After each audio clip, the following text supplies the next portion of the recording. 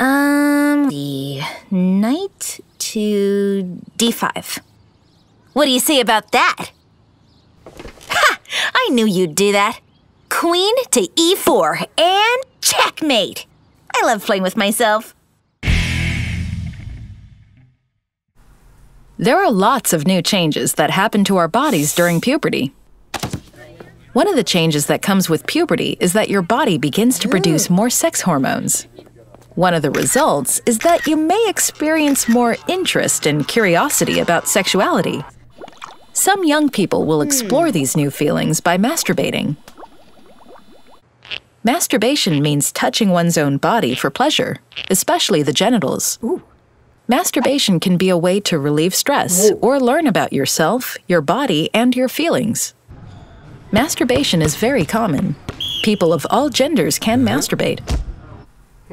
It's normal if you do it, and it's normal if you don't. There are no right or wrong ways to masturbate, but it should always be done in private. No matter what rumors you may have heard, there are no negative physical effects from masturbation. Your palms won't grow hair. Your clitoris won't fall off.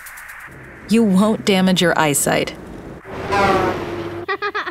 It won't affect your period or your ability to have children in the future. If a person finds that they are masturbating so frequently that it gets in the way of their normal daily routine, they should talk to a trusted adult. But generally, masturbation does not present a problem, and it is a physically safe way to express sexual feelings. Till next time, don't forget to visit me at amaze.org or go to my YouTube channel to watch more. Bye!